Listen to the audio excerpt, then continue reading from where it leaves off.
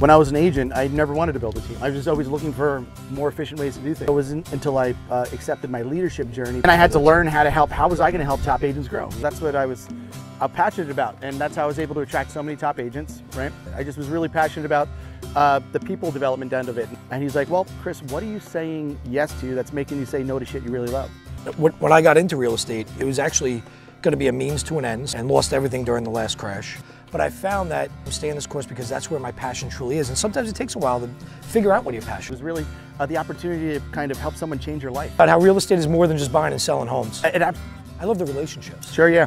Yep. You get to meet all kinds of people too, tell you. Never a boring day in the real estate industry. Yeah.